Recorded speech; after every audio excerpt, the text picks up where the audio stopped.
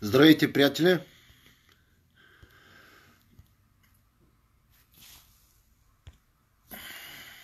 Здравейте, приятели! В момента се върнах току-що от едно дело в Асеновград. За това ще поговорим малко по-късно. Сега, какво е основната, основната причина, поради която българите, младите, младата интелигенция, говорим за хората, които движат колелото на историята, хората, които могат да променят нещо в тази държава, това е интелигенцията, защото един народ без интелигенция е като човек без глава. Все едно българският народ в момента е обезглавен, тъй като младата интелигенция, хората с енергия, хората с знания, с, с а, тесни специалисти, хора, които могат да създават а, продукти, да създават а, нови изобретения, марки. Тези хора го, се заминават от България безвъзвратно.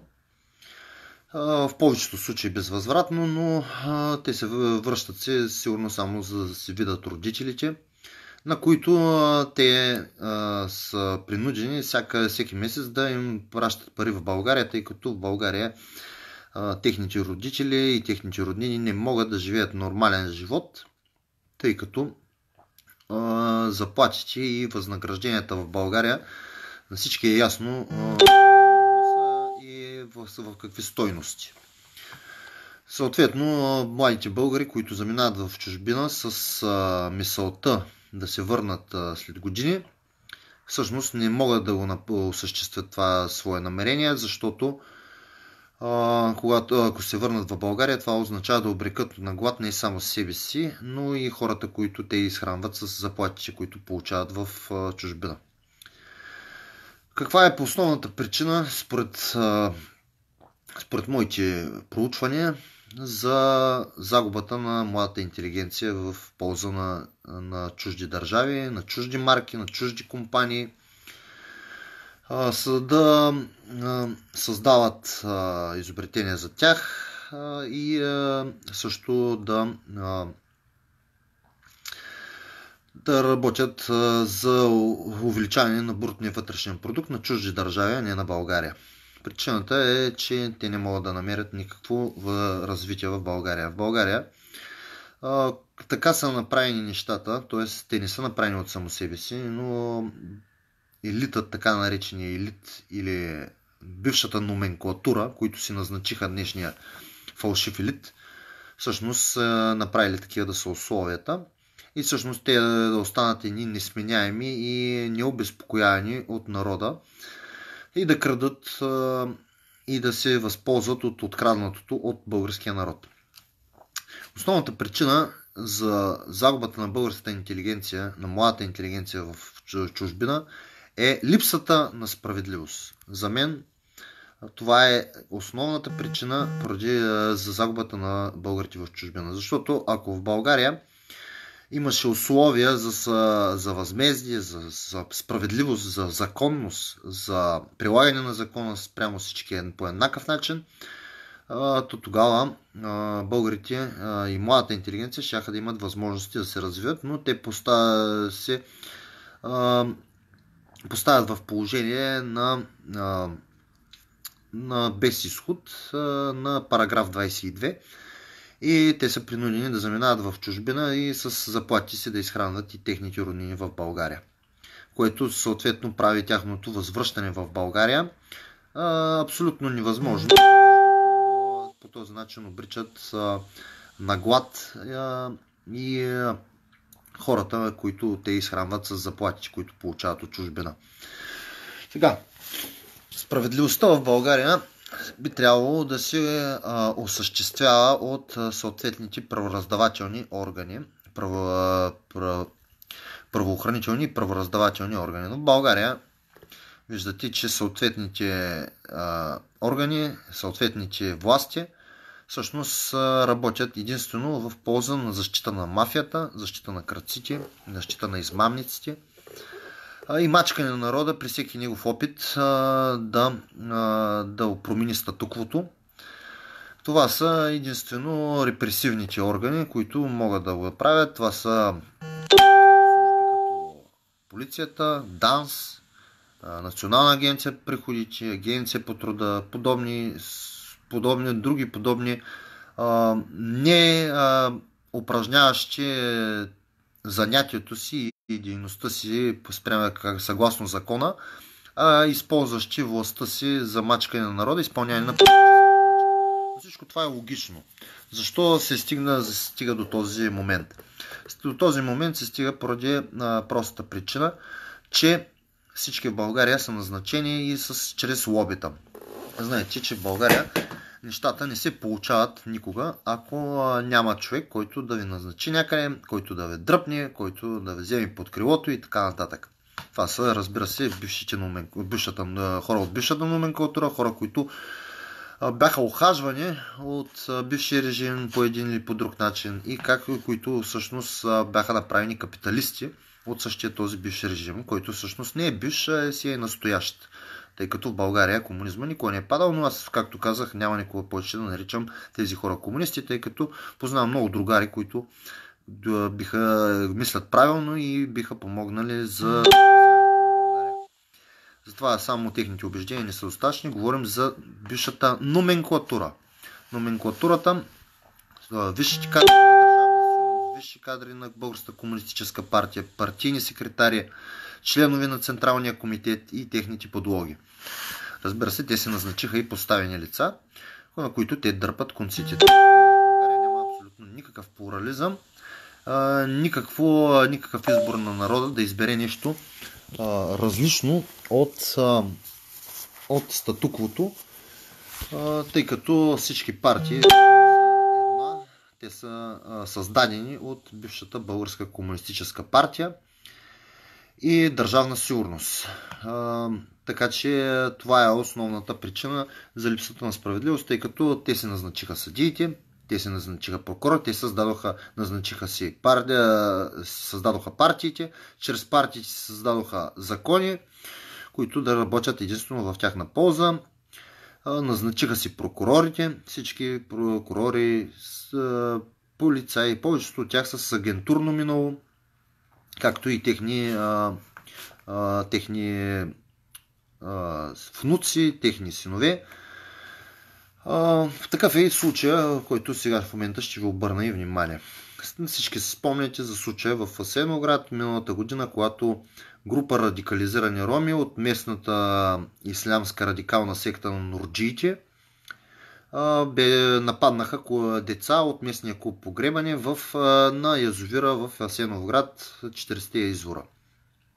Прибиха децата, след което събра още една тълпа около 50 роми, които нападнаха децата пред болницата, където те бяха за да ги за да им поставят гипс, шини и подобни и да бъдат обработени раните им, тъй като знаем, че едно от детето има щупени прешлини, другото дете има щупена ръка, едното има щупен крак от тълпа радикализирани роми, които с вили, прътове, талпи, всичко нападнаха децата в центъра на Сеновград, след като един път ги бяха вече били на, на язовира 40 извора. Тогава всички си спомняте, започнаха масови, започнаха големи протести в Асеновград, като там се струпа патриотичния, патриотичната част от българската, от свободния български народ, който можа да отиде тогава да подкрепи сеновграчани, тъй като имаше хора дори от другия край на България. Аз лично бях дошъл от Бургас, който е на 350 км близо от Асеновград. Но това не е най-важното. Всички отидохме за да защитим българите, всички знаем каква беше причината ние да бъдем там.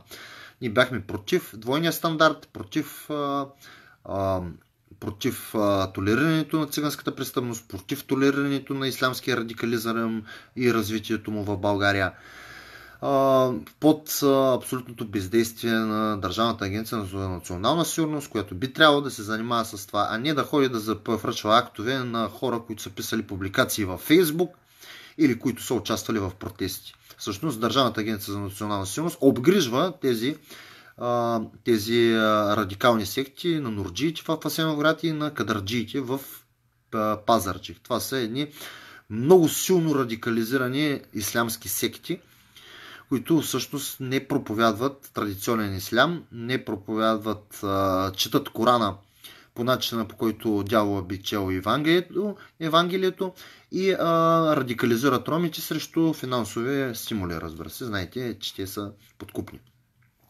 Настоявам да кажа, че и турците в района, които са доста голямо малцинство, и помаците, те не се подават на ислямски радикализъм и на проповядване на радикален ислям, тъй като техния ислям е техния, техния ислям е изцяло мирен, мирен ислям и те не се, са достатъчно интелигентни да не се подават на радикални проповядвания които целят единствено създаване на военни положения, създаване на омраза между членовете на населението, което не би било полза от нея никой.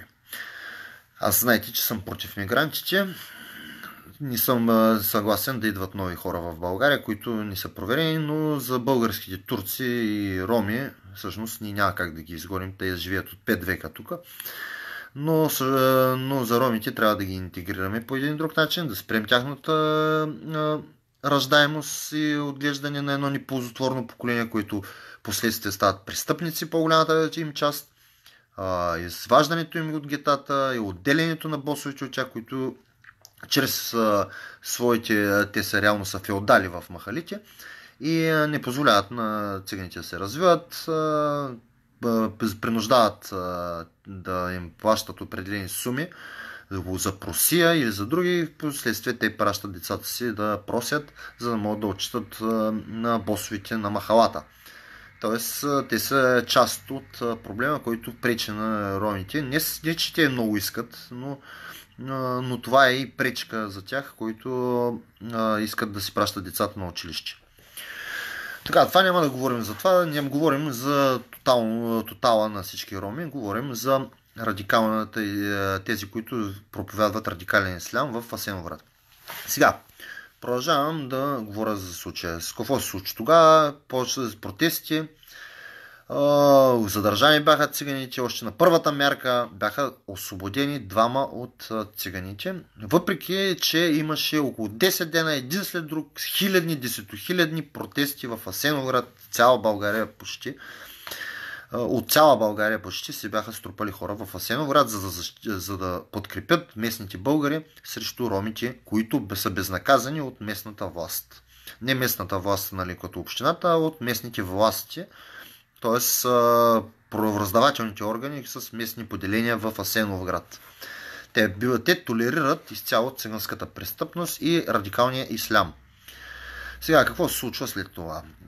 Знаете много добре, че има на един от протестите, бях ударен от един оператор на BTV, след което те фалшифицираха записи, лъжеха по телевизиите, че аз съм го бил ударил едва ли не и бях задържан два месеца в Асенора. След което излезе запис, където се вижда от близък каданс, всичко и се вижда, че аз съм ударен всъщност и не съм направил нищо. Също, всичко тук би, би било нормално, ако делото беше прекратено, тъй като цяла България видя, че това не е вярно. Аз съм чел много, множество коментари.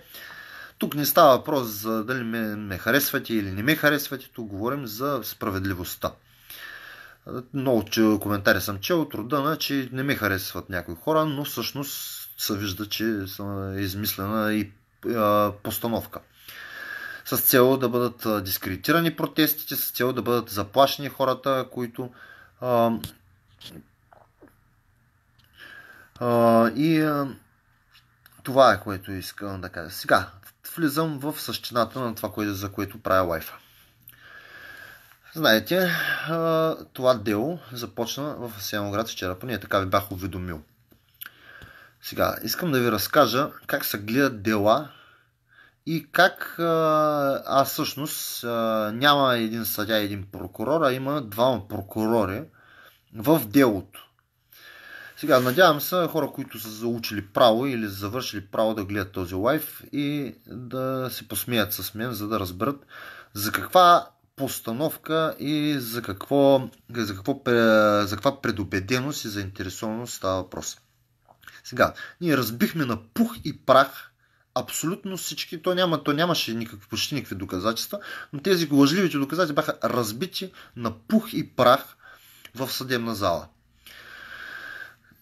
С това предизвика съдът, съдята и прокурора да си изтърват нервите. И първо се вижда на, на, на снимки, че въпросният човек, който твърди, че е бил ударен, но всъщност на камерата се вижда, че не е ударен. После изкарват някаква си снимка, където се вижда, че тук има някаква си, сигурно едно нокътче раничка. Ние идва експерта, експерт съдебна, от съдебна медицина от Асеновград, който е изготвил съдебно-медицинска експертиза на въпросния пострадал оператор на BTV Петър Джанаваров и Росен Цветков. Това са журналисти на BTV, така наречени разследващи журналисти, които разследват само те, които им разрешават, а не всички. Защото знаете, за един разследващ журналист Васил Иванов се казва. Аз дълбоко го уважавам, тъй като аз съм гледал много пъти репортажите му и той напусна нова телевизия точно заради цензура и изобличи нова телевизия в цензура. Разбира се, в момента развитието му не е особено бляскало, тъй като всички медии всъщност не са медии, а те са подлоги на Бойко Борисов и на властта. И той беше изпратен в 10-та глуха, но всъщност неговите репортажи все още будят интерес от всички, тъй като виждаме неговата сърцатост но това не може да се каже, примерно, за журналисти на BTV, като Росен Цветков или други подобни водавилни фигури, поне за мен. А, и въпросният Педър Джанваров, който му били направили съдебно-медицинска а, експертиза и а, след като му направили съдебно-медицинска експертиза и установили, че това било причинило разстройство на здравето, някакво си цепчица тук. И го питаме а, съдебния медик, съдебния експерт, Господин съдебен експерт, а, ако примерно на това място, тук до слепоочето, бъде разцепени всичките а, пластове на кожата, епидермиса, дермата, чак до, до месото, чак до мускула, тогава би ли текло кръв? Да, би текло кръв. А, питаме го, ако това, ако беше цепната кожата с всичките слоеве до дер, с дермата и чак до мускула, тогава би ли останал белек? Да, би останал със сигурност белек. Тогава, ние какво поискахме? Ние поискахме веднага да съдята да позволи освидетелстване на въпросния Петър Джанаваров и да установим има ли белек на това място, защото според експерта, ако е наранен само горния или двата слоя на кожата, епидермиса, то тогава това не би било разстройство на здравето. Но той всъщност би установил, че всичките слоеви на кожата били пукнати. Тук в една... Тук говорим за, за много сериозни детайли, така че а, надявам се да бъдете по-аналитични, за да ме разберете какво искам да кажа. И а, всъщност, ако горния слой на кожата, тогава това не било на разстройство на здравето, а ако всичките слоеви на кожата били пукнати, а, а, ако всички слоеве на, на кожата били пукнати, тогава това било разстройство на здравето. И молим съда да, да позволи освидетелстване на така наречения пострадал Петър Джанваров, оператор на BTV, да установим дали има белек на това място, тъй като експерт разцепени всичките слоеве на кожата, както той е установил съдебно-медицинската експертиза, то тогава със сигурност а, би останал белек. Господин съдя, може ли да освидетелстваме така наречения пострадал, да ви установим има ли белек. Не, не може. С бутафорни основания.